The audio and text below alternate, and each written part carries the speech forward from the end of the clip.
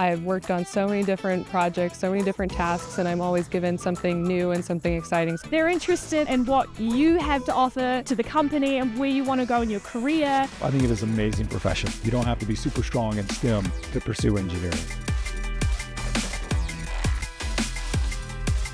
This time on STEMworks, we visit with Lumos and Associates, a civil engineering company that provides infrastructure projects in our community and beyond.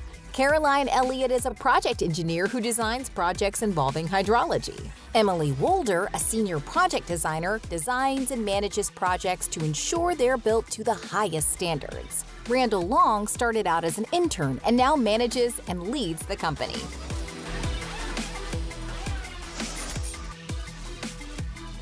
As a project engineer, I work on designs with my company, with my colleagues, mainly regarding hydraulics and hydrology. So that can be anything from pipelines to water treatment systems to dams. Typically, a senior project designer would be in the office helping out with design work, basically. I'm sort of in a unique situation where I'm helping out with third party construction management assistance. So I'm full time on site doing construction observation and documentation, taking pictures, taking notes. I coordinate with the contractor and special inspectors as well as help resolve field conflicts. My day to day is being around people, understanding them, listening to them, finding what works for them. It's leading the company through initiatives that are taking us places we haven't been. You know, what market are we going to be in? Where are we pulling back? Where do we think tomorrow is going to be? I work on designs, I draft them in a computer, I model the physics and the math of how it works, lots of hydraulic modeling, pipe design, looking at spillway design, all sorts of fun things like that. And that's really, that's what I enjoy doing. There's quite a variety of tasks out in the field, whereas when you're in the office designing, it's pretty focused. Out in the field, the plans aren't always representative of field conditions, and so you're kind of on site, basically making sure that the client is getting the product that they want, everything is being built properly. My primary role as a CEO is to provide an environment for our employees that's lasting, that they're inspired to come to work that they have collaboration, they grow, being able to understand what they're going through, the strides that they're making, wanting to know what their hurdles are today, what their successes are today. That stems into our clients, that stems into our product. We do all different kinds of subdisciplines of civil engineering. We do structural, land development, water, wastewater. We have a GIS group, hydrogeology, we have a construction department that does materials testing as well as construction management services, which is what I'm doing right now. We have water resource, wastewater projects. We're working currently on a dam project, lake projects. We have structural related projects, soils, materials, laboratory testing, asphalt. I mean, it's a very broad spectrum. We're working on Marlette Dam, we're working on Hobart Dam, we're working on the East Slope Pipeline that collects water from the other side of the mountain. It's a really cool system to be a part of with the historic legacy of it all. The dam that's there at Marlette is outdated and it needs improvements. And so we've been working with the state of Nevada to bring that up to code. And so we are part of um, upgrading that system to make it more efficient, more environmentally sensitive. So this is the Marlette Dam and this is the Marlette Lake Reservoir, which supplies water to Virginia City and Silver City, also to Carson City. And so our job is to assess the structure and make sure that Marlette Dam is secure and it's not going to be at any kind of real risk of failure. You don't have to know everything to start out. You just have to be willing to learn and to work hard. They're here to help you. They're here to help you grow because you're a resource and they want you to learn and they want you to succeed. When you come in the door initially, there's a lot of mentoring, there's a lot of teaching, coaching, training. It's our way of touching an individual, showing them the profession, sharing our knowledge with them, see them grow, and then give them some life lessons for tomorrow.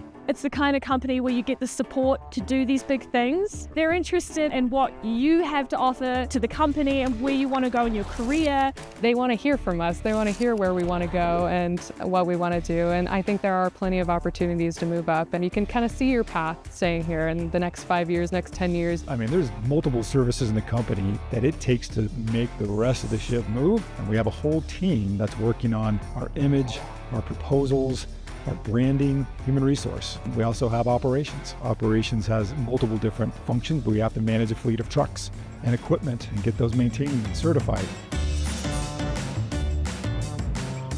There's two main things that I love about Lumos, and the first is the opportunities and the challenges that I've been given. I've worked on so many different projects, so many different tasks, and I'm always given something new and something exciting, something to challenge myself to help me grow personally and professionally. Something that's really rewarding about the projects that you work on as a civil engineer is seeing your designs come to life.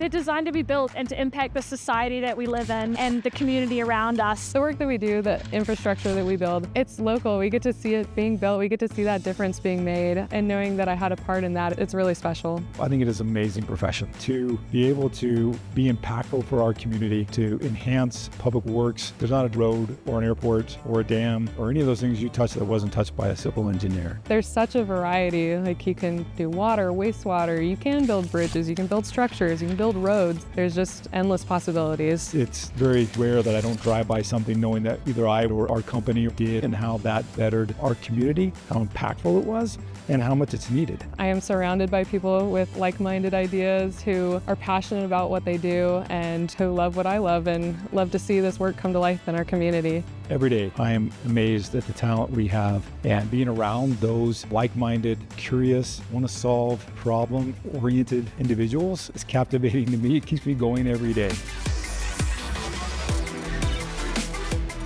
Leading starts with listening. You got to listen as you're messaging to understand where you need to make the changes. And you have to recognize that if you're all by yourself, you're not a leader. You have to have your team around you as you go. We're not on an island as we work through these big problems, these technical challenges with designing a dam like this. So I'm very fortunate to work on a team of engineers that are really collaborative, positive, have strong communication skills. I'm constantly talking to the contractor, I'm talking to the laborers, I'm making sure that the project's being built correctly, that they're following the details, following the plans, uh, making sure changes are implemented. I think people skills is certainly paramount in my progression through the company. Everything we do is together, it's all about collaboration being able to approach someone in a way that resonates for them. You're always working with other designers. One person can't do all of that design work. It's constant communication. You have to be able to coordinate everything so that the plans all work together. You're really looking at physics of fluid dynamics. You might be using lots of math, Excel, or modeling softwares to make a 3D version of your dam. I think a lot of kids are intimidated by the math portion. And really, it's just, it's working hard and getting through it. And then you get to the fun math where it's actually applicable. And you're like doing pump calculations and you're actually finding out things through math and science and not just doing a problem for the heck of it. Math is so important. Actually, I use it a lot. And you know, I think I did a trig problem yesterday. And so you never know when it's going to come at you. My advice is to start with a firm that has multiple different services in-house, an experience that provides you different avenues. So if you're in design and but yet you have maybe an interest in construction or construction management or testing, if you have an inclination you want to try surveying, if you want to be more on the structural route. I would recommend going to a water treatment plant, taking a tour there, going to a dam or a bridge that you think is cool, and just checking it out and asking yourself those questions of like, how did they build this? How did they design this? Having the ability to pick up a software, AutoCAD is a large component to our work. It's a program that we use. There's multiple ones in structural engineering. There are traffic softwares that we use, GIS, Esri. Work as hard as you can in your science and math classes and find your passion. Any civil engineering company would be thrilled to talk to high school students about it. Be persistent, put your foot in the door to stop by. We'd love to talk to you. You don't have to be super strong in STEM to pursue engineering, in my opinion. I'm a good example of that.